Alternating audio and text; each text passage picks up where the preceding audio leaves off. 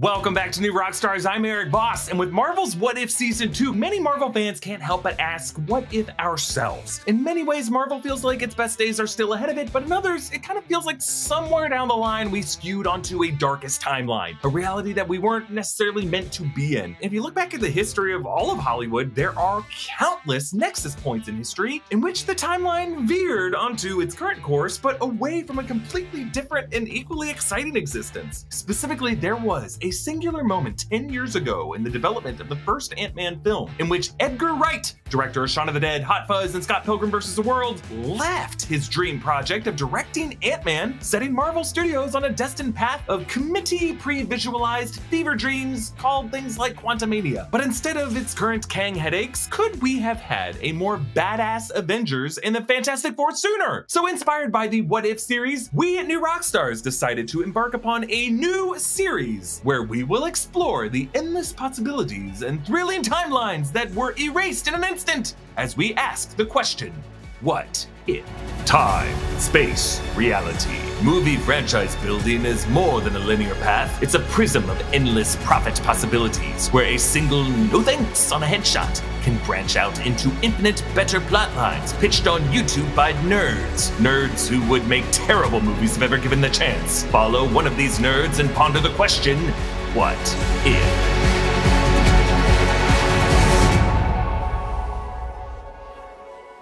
It's Friday, May 23rd, 2014. The Hollywood Reporter publishes a joint statement from Marvel Studios and director Edgar Wright, saying, The studio and director have parted ways on Ant-Man due to differences in their versions of the film. The decision to move on is amicable. The statement sent shockwaves throughout the nerd world, shaking to the core those who were delighted by Edgar Wright's test footage for the film shown at San Diego Comic-Con in July 2012. According to the book MCU, The Reign of Marvel Studios by Joanna Robinson, Dave Gonzalez, and Gavin Edwards, Chapter 21, Right Man Man Wrong Time, the trigger point happens the week prior, mid-May 2014, when a never-named in-house screenwriter under contract with Marvel Studios turns in a rewrite of Edgar Wright and Joe Cornish's screenplay to apply notes from the studio's shadowy creative committee. This revision left Edgar Wright quote, horrified. Meanwhile, this exact same month of May 2014, Marvel Studios president Kevin Feige was busy courting Sony Pictures head Amy Pascal to convince her to share the character of Spider-Man in a 2016 reboot in Captain America Civil War. After The Amazing Spider-Man 2 underperforms the first weekend of May 2014, Kevin Feige calls a top secret summit with his closest advisors in a Santa Monica hotel, leading to a fateful meeting with Pascal on the Sony lot. Pascal threw her sandwich at Kevin Feige and told him, quote, get the out of here. But she comes around to the deal and both studios make billions. But did Kevin Feige's focus on locking down the Spider-Man deal in those days of May 2014 blind him from what was happening on Ant-Man right under his nose? Did this distraction allow the then rival creative force of the company of the creative committee to hijack Edgar Wright's Ant-Man script and change it so much that Edgar Wright had to walk away? What were these rewrites? Who was that fateful in-house writer? And what would would an MCU steered by storytellers like Edgar Wright have looked like? Let's rewind. It's 2000. Marvel sells the film rights to Ant-Man and several other characters, including Captain America, Man-Thing, and the Punisher, to Artisan Entertainment. Edgar Wright, at that point known only for the UK sitcom of Spaced, pitches Artisan on an Ant-Man heist movie based on his memories of John Byrne's Marvel premiere number 47 from 1979, including Scott Lang's origin story, but Artisan passes. 2003, Lionsgate buys Artisan and they allow the rights to Ant Ant-Man to revert to Marvel. 2004, Edgar Wright, now the director of Shaun of the Dead, meets Kevin Feige and Avi Arad at Comic-Con. They say they never knew about his Ant-Man pitch, but his treatment now impresses them. But it's still just 2004. These men aren't yet in a position to greenlight an Ant-Man movie. It's now 2006. Edgar Wright is promoting Hot Fuzz, and at Comic-Con, Kevin Feige, now eager to prove Marvel as its own studio in its own cinematic universe, convinces Wright to join him on stage. He name drops Ant-Man, and he says,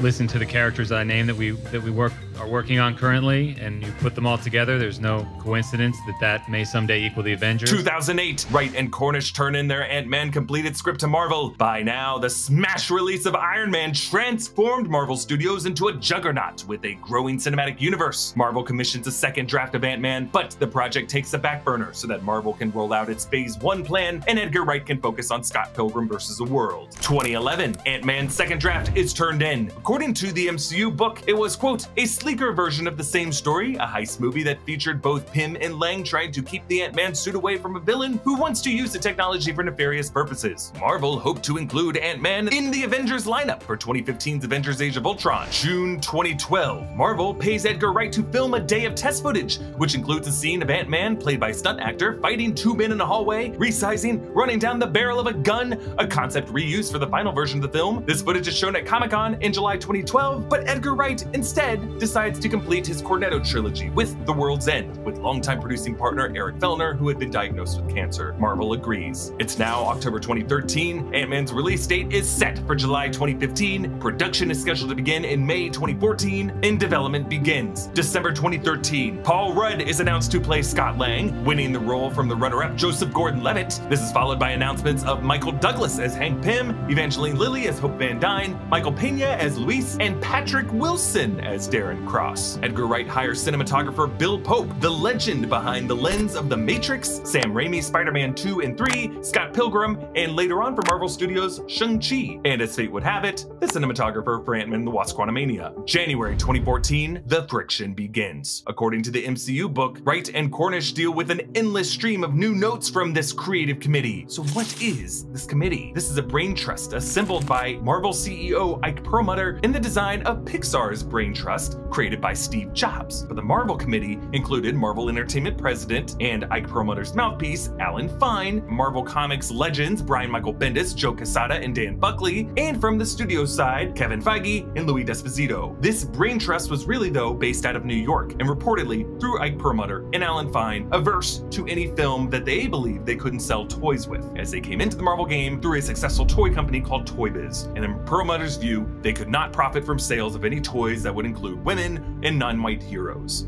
not the best guy in this watcher's view. According to the MCU book, the committee's notes for Ant-Man included questions about Hank Pym's past with S.H.I.E.L.D. and a relationship to Tony Stark's father, Howard. Wright and Cornish revised their script, trying to preserve their original tone, however, until March 2014, when Wright and the committee agreed to postpone the beginning of production to the month of July to sort out script issues. At this point, Marvel Studios hands off Wright's script to an in-house writer who does a new pass to address all of the creative committee's notes. All of the notes. So who was this writer? In the early years, Marvel Studios was experimenting with an in-house writers program that included emerging screenwriters like Christopher Yost, who wrote on Thor the Dark World and Thor Ragnarok, Edward Ricourt, writer of the Now You See Me films and episodes of Jessica Jones, Nicole Perlman, writer of the first drafts of Guardians of the Galaxy and Captain Marvel, Joe Robert Cole, co-writer of both the Black Panther films, Drew Pearce, writer of an early version of Runaways and co-writer of Iron Man 3 with Shane Black, and Eric Pearson, who wrote on the scripts of Thor Ragnarok and Black Widow. This writers program was initially overseen by Marvel producer Stephen Broussard, who was Kevin Feige's former assistant, but then taken over by Nate Moore. Actually, after the success of the 2012 Avengers film, Joss Whedon's new contract with Marvel allowed him to do writing passes on all Phase 2 Marvel movies to set up Age of Ultron for the most success in intercontinuity. But according to Joss Whedon, Edgar Wright's draft of Ant-Man was perfect, no notes. Joss Whedon says, quote, I thought the script was not only the best script that Marvel had ever had, but the most Marvel script I'd read. I had no interest in Ant-Man. I read the script. I was like, of course, this is so good. So the mystery in-house writer was not Joss Whedon. It was likely just one of those writers just trying to do their job to carry out orders from the committee, while Kevin Feige was across town trying to dodge Amy Pascal sandwiches. But Edgar Wright is horrified by this new draft. According to the MCU book, the story is mostly the same, but swaths of dialogue have changed, and references to the wider MCU were shoehorned in. Shoehorned! Oh, one shot energy, huh? I think I'll try it. Whoa!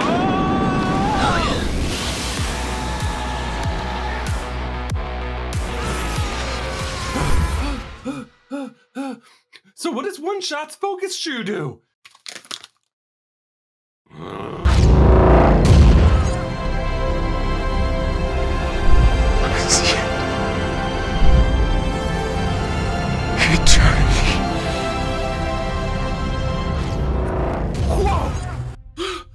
So, uh, One Shot really is all you need. Begin your transformation with One Shot Energy today by going to one oneshotenergy.com slash new rockstars for 10% off your order.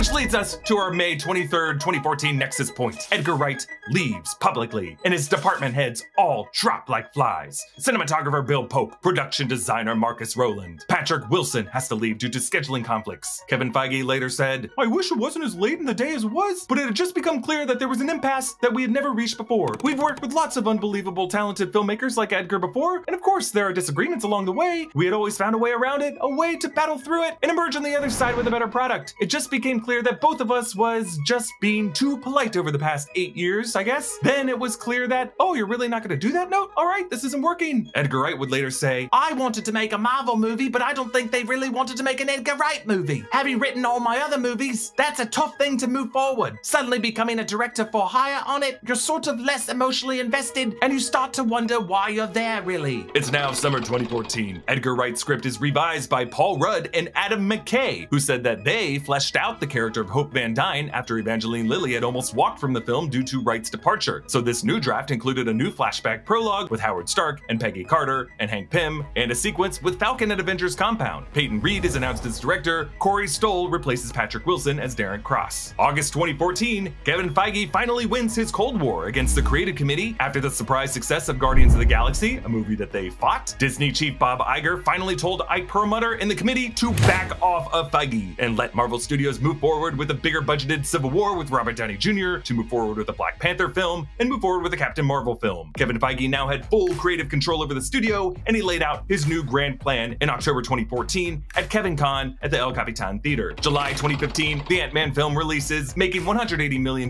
in North America and $519 million globally. Not Avengers level money, but enough money so that Ant-Man could return in Civil War, in Ant-Man and the Wasp, in Avengers Endgame, and Ant-Man and the Wasp Quantumania. The 2023 launch to Marvel's Phase 5 and multiverse saga that introduced Kang the Conqueror to be this franchise's next arc villain. Peyton Reed himself helps cast Jonathan Majors in the role, and he would first appear in Loki Season 1. Most recently, November 2023, Edgar Wright finally opens up on Instagram, saying, Having signed an NDA when I left, there's not much I can say. I guess the biggest, pun intended, differences in our screenplay was that it was self-contained and didn't have cameos from other MCU characters apart from an NTs, and it was much more of a crime heist movie with interlocking robberies and heists throughout, a little like Donald Westlake's The Hot Rock. I think the crucial difference too was that, like the original comics, Scott Lang was an actual criminal at the start of the film and not already a 100% good guy. We felt it was a more satisfying redemption arc if he went from criminal to hero. So we take you back to our Nexus moment in May 2014.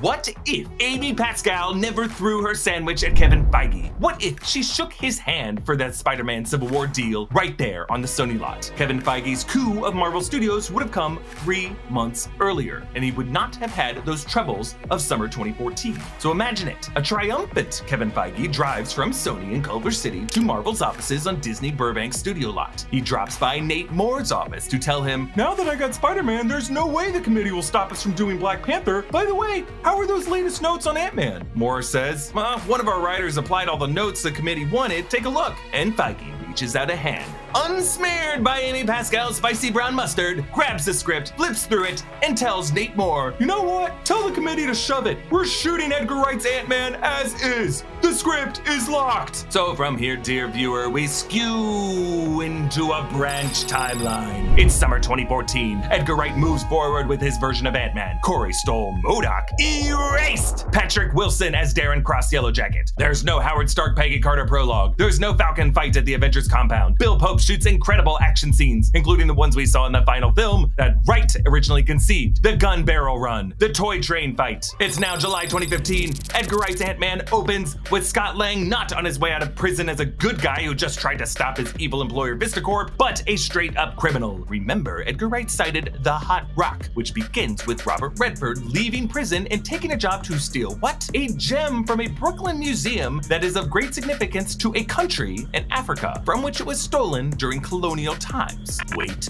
a minute, you might ask. Does this not sound like the introduction to Killmonger in the London Museum in Black Panther, a script written by Marvel in-house writer Joe Robert Cole? In this alternate timeline, Kevin Feige and Nate Moore, who are now eager to fast-track Black Panther and set up his appearance in Civil War, turn out to bully Edgar Wright even more aggressively to merge his Ant-Man concept with the broader MCU anyway. That's right, the committee notes weren't coming from New York, they were coming from inside the house. But as men who know how to work a Hollywood set, they do it with more finesse, and they make a better case than the committee did, with more respect for Edgar Wright's vision. So instead of a shoehorned Falcon cameo, Feige and Moore softly encourage Edgar Wright to include a Black Panther cameo, and a plot to recover stolen vibranium from Wakanda, stolen by Patrick Wilson, Darren Cross, using vibranium dealer Ulysses Klaue from Age of Ultron, which would give Yellowjacket in this version of Ant-Man a suit of vibranium. Now, our Edgar Wright would bristle at these MCU tie-ins, but they do fit in more organically with his plan to follow the hot rock. And this way, he's allowed to maintain Scott Lang as an anti-hero, which is always more important to him anyway. He sticks with this Scott plus Hank heist with Michael Douglas in a Romancing the Stone throwback, but in Wakanda, and the movie works. Rather than making 500 million globally, Ant-Man, as a team up with T'Challa in a prelude to Black Panther, becomes an even bigger hit, making 800 million worldwide, leading us to alternate 2016. Rather than Marvel Phase 2 and 3 movies shot with the desaturated tones and poor lighting and steadicam of the Russo brothers, the MCU now becomes known for a vibrant, clean Scott Pilgrim visual language brought by Edgar Wright and Bill Pope. 2017. Since Wright and Cornish's draft left the role of Hope Van Dyne smaller in this universe, any Ant-Man sequel now would not further explore the Wasp and the Ant family, but rather Ant-Man's role as the MCU's sharpest teeth. Edgar Wright now sees the benefit of playing in Kevin Feige's sandbox of characters, and Ant-Man's next appearance is a team up with Spider-Man in Spider-Man Homecoming. Scott Lang, as a criminal, helps fellow empathetic criminal Vulture Adrian Toomes break into Avengers Tower, leading to the Spider versus the Ant. Bug Bowl 2018-2019. Ant-Man now plays an even bigger role in the Infinity War and Endgame films. Rather than waiting for a rat to release him from the quantum realm so he can babble about time dilation and turn into a baby, we learn that Scott snatched the Time Stone just before Thanos destroyed the Infinity Stones, or found an atom-sized piece of the Time Stone, and the Avengers used this to rewind time. And the time travel logic of Avengers Endgame makes a hell of a lot more sense. 2021, rather than exploring the depths of the quantum realm, Edgar Wright,